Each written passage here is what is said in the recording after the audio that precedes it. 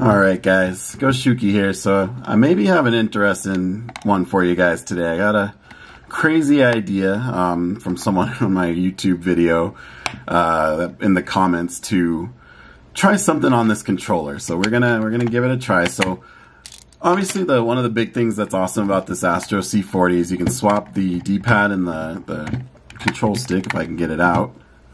And um, you can put it here so you can have a PlayStation style, Xbox style. Uh, but what no one's talking about is can you put the D-pad over on the on this side? Can you swap this one out? So that is what we're going to be testing out today. So I'm going to put this in here. I want, I'm really curious if this is going to work. Um, let me see if I can put these in. So, okay, so we're going to put this on carefully. It fits. Alright, probably shouldn't be doing this with it plugged in, but whatever, you know. Alright, we're going to screw it in.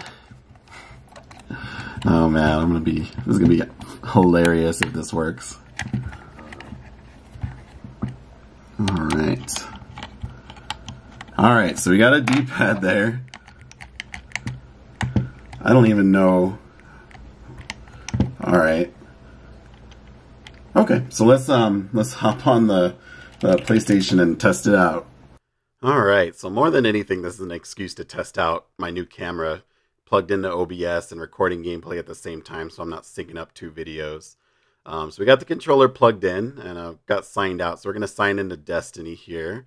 And um, we'll load up in like the EDZ and see what's going on, see if we can control it, see how this works.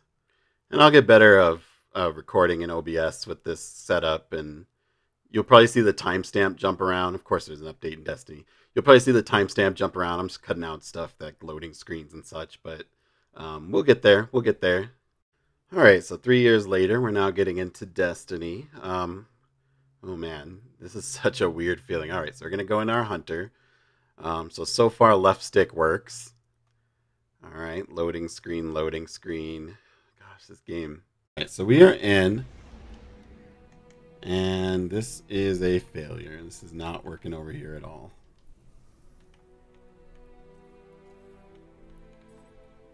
Wait. Huh. Up and down are working. Uh. Okay. Huh. This is this is messed up. Okay, so this one is for aiming right now. This one is moving my character. Wait, we gotta load into a zone and see this. I gotta see this. Alright, so here we are, moment of truth. So this one's let, let me move. this one is aiming. This one isn't doing anything. Oh, wait. It's like kind of letting me emote. Wait, now it's, it's like kind of working. Oh, this is so weird. All right, well, to answer your question there on YouTube, it does work. Um, unfortunately, the D-pad doesn't work for aiming, which I thought it might if I put it over here, but it's just kind of still the D-pad. Um, so it does work.